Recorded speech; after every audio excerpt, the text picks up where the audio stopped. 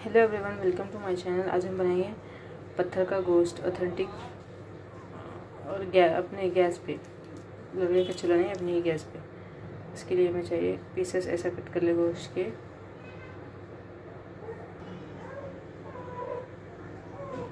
इस तरह से बोनलेस मटर ले।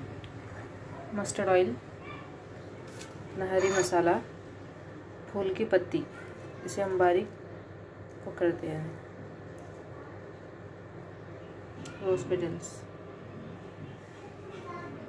मिर्ची, हल्दी, अदरक, लहसुन सॉल्ट धनिया पाउडर किचन मसाला होममेड जो घर का किचन में रहता है किचन मसाला और ये पत्थर के गोश्त का मसाला ये रोज़ की पत्तियों का हमें पाउडर बना लेना है, इसी तरह से पाउडर बना लेना है, ना मिक्स करते जाएँ.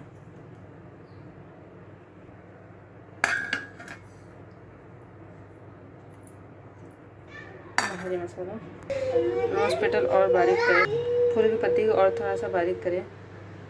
मैंने ऐसे क्रश करके ऐड किया। Two spoon lemon lemon juice डालिए। अच्छे से मिक्स कर लें। लेमन जूस ऐड करें।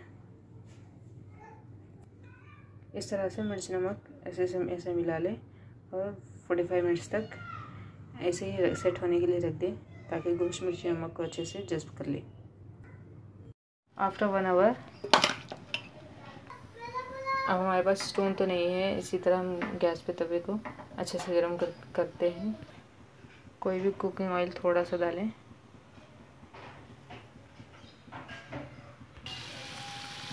इस तरह से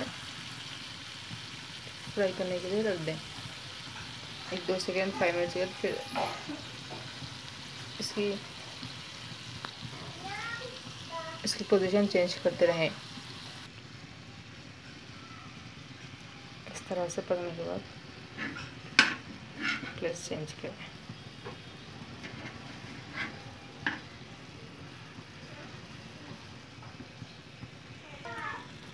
ये गलने तक इसी तरह से हम पलटते रहें और दम पर thirty to thirty five minutes तक करें।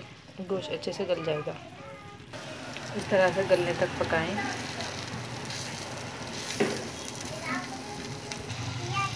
इस तरह गलने तक पका लें। गल चुका है। पत्थर का गोश्त is ready too yummy tasty इस तरह से आप पत्थर का गोश्त घर पर ही बना सकते हैं।